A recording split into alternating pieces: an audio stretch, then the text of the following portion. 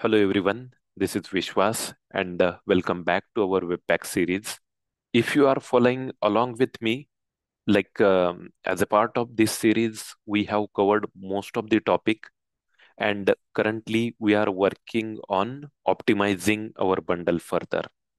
When we talk about the optimization, till now we have covered like how exactly we can extract the CSS as a separate file for that, we have used mini CSS extract plugin and we have separated out our CSS file from our HTML. Then we talk about the development and production mode. And in production mode, we see how exactly the HTML and CSS are minified with the help of Terser Webpack plugin. Then we also see how exactly we can minify our CSS. And for that, we have used CSS Minimizer Webpack plugin. The same plugin is also used to remove the duplicate CSS. Internally, it uses the nano CSS and it does lot of CSS minification and optimization for us.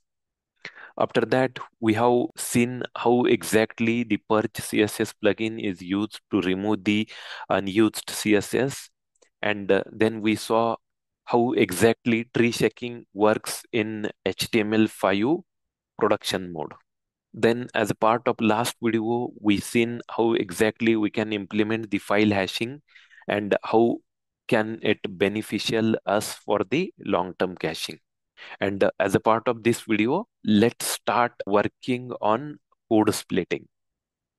To understand the code splitting, I have made some changes in our current application. I have added two more dependencies. One is Lodash and another one is Day.js. So let's understand the visual representation first for our final bundle and then we will work on actual implementation. Now, if you look at our visual implementation in our code, like we have two separate entry file, right? One is index.html and another one is explore.html.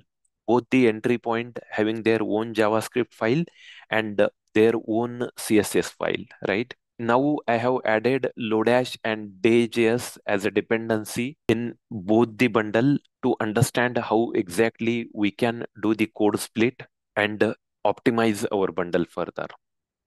If you look at here, when we talk about both the bundle, right, index.bundle.js and explore.bundle.js file, both the file contain Lodash as well as Day.js dependency it is duplicated in both the bundle and which will increase our final bundle size. And here now code splitting comes in picture. With the help of code splitting, now what we can do, we will remove the common dependencies from both the bundle like Lodash as well as Day.js and keep that as a separate bundle. That means index bundle contain only the things index bundle, then explore bundle contain the specific thing which is only for explore bundle. And finally our common bundle contain the things which is shared. This way we can implement the code splitting and optimize our bundle further.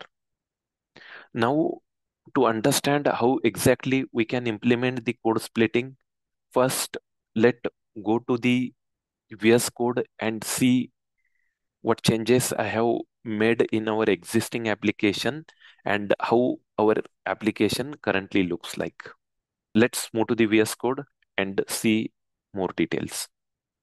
Now, if you seen my previous video, we continue working on our Webpack optimization application and I have made few changes in it if you go to src folder and look for my index.js file like uh, i have uh, added the lodash and day.js dependency.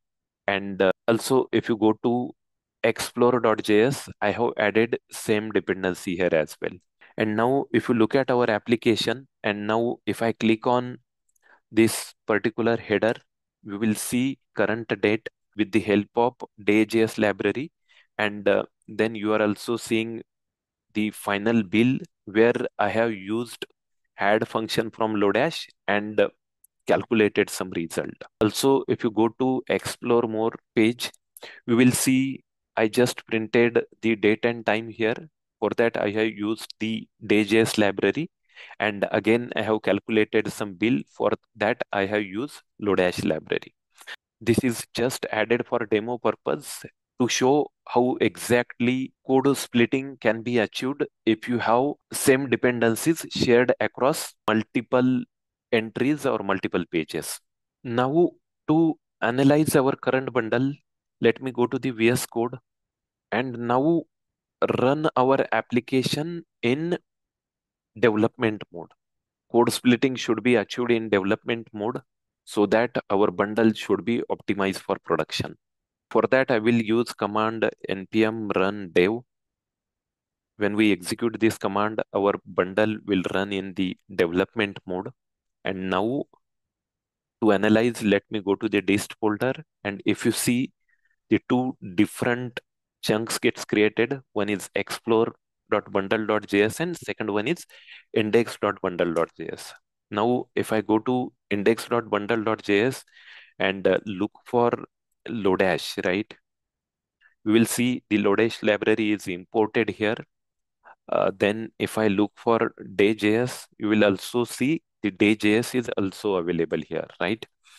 And now if I go to explore bundle, you will see the same library is also imported here. The first one is day.js. And now if I look for Lodash, it is also available here.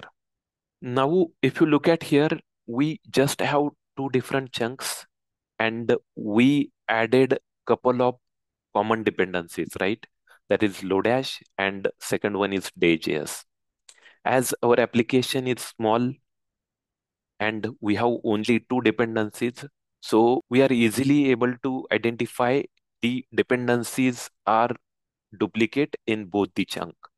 But if our application is growing, like we are working on big production ready application and we have multiple dependencies, right? Then it is very difficult to find like which dependency is used by which chunk and if there is any duplicate code is present in our bundle, right? And to analyze our bundle in this situation, the Webpack is providing us the very beautiful plugin and that plugin name is Webpack Bundle Analyzer. Let me add that plugin and see how exactly it helps us to analyze our bundle. For that, I will use the npm install. The plugin name is Webpack Bundle Analyzer. Yes, our plugin is successfully installed now. Let me go to our dev webpack config file and uh, import that plugin, right? For that, I will use const here. And we need to use or import this plugin as a named export. And uh, the name of that plugin export is Bundle Analyzer plugin. Let me import it now. For that, I will use required and uh, I will use Webpack Bundle Analyzer here. Copy this plugin. Now move to the plugin section and add this plugin with new keyword. Let me save the changes and now run my build again in the development mode. Let's wait until it's complete. Now our bundle is successful and now if you go to Chrome, it automatically open one page for us. And this is the output of Webpack Bundle Analyzer plugin. This plugin help us to get all the chunks and find their dependencies. Now, if you look at here, currently we have two main bundle. One is index.bundle.js. It's having node module. Then the biggest dependency is Lodash here. And if you look at our second bundle, right? Explore.bundle.js, it's having its node module folder and the biggest dependency is Lodash here. And now if you look at here, this small part, right, you will see the day.js library is available here. And along with this, you will see some more small libraries, right? And also, if I go here, you will see the day.js is available here as well, right? That means both the bundle having some duplicate code and the biggest dependency is Lodash. Now let's go to the VS Code and start working on actual code splitting. When we talk about the code splitting, we don't need to explicitly install anything or we don't require major code changes. This is handled by Webpack 5 automatically with some small configuration. And the configuration is very simple. For that, we need to use the optimization field here. If you look at my production bundle.js, right? We already started using the optimization for our CSS minimizer plugin. And uh, we also use this spread operator to use the existing optimization of Terser Webpack plugin, right? So we will add similar optimization field in our development mode and see how exactly we will achieve the code splitting. For that, let me add the optimization here. Optimization will be object. In this object, we are expecting one property and that property name is split chunks. This will be object again and inside this we have one more property called chunks. And in chunks we can use value as a all. Only this much configuration we will require when we talk about the optimization. Webpack internally uses the different plugins to do that optimization, right? And when we are using split chunk property, it internally uses the split chunk plugins to do the code splitting for us. Now save our changes and run our build again. For that, I will use npm run dev again. Let's wait until it's complete. Now our bundle is successful. And if you look at here, right, we will see one more bundle gets added here. That means we already have the index.bundle.js. Then we already have explore.bundle.js and Webpack added one more common dependency. Now what happened as we are using this optimization split chunks plugin, the Webpack automatically figure out all the duplicate dependency that is used across both this bundle and that is added as a separate dependency here or separate bundle here. Now let me go to my explore.bundle.js and search for Lodash. We will see some dependency of Lodash here, but actual library is not available here. Same if I do for day.js, we will see only references, but actual library is not available. And same will happen with the index.bundle.js. And now if you look at newly created bundle, you will see both the dependencies are added here. So this is my Lodash. See, Lodash is added here and same for day.js. See, day.js dependency gets added here. And now if you go to Chrome and look for the output of our Webpack bundle analyzer plugin, you will be amazed, right? It make drastic change in our bundle, right? Now, if you look at here, the biggest chunk is the common bundle that is created by the Webpack, right? And it's having all the common dependencies. That means Lodash. If you look at here, the day.js and everything, right? And if you look at in this corner, this is our actual code dependencies, right? Let me zoom it. And uh, if you go here, you will see this is my index bundle.js. And uh, if I came down, you will see this is my explore.bundle.js. This is how we can analyze our bundle with the help of Webpack Bundle Analyzer plugin.